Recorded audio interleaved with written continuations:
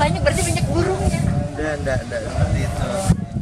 Lebih kayak apa eh, apa ya istilah orang untuk eh, jadi kalau orang mau punya hajat apa segala macam mau nikah ya hanya persepsi aja sebenarnya. Tapi alhamdulillah kata biasa begitu. Oke, tapi setelah apa yang warung ini sudah terbantah nyangka juga bakal ini booming saya lihatnya di Iya, itu, apa wisata alam Bogor. Ya iya. Kan berapa tahun sudah buka mas? Baru? Dua tahun.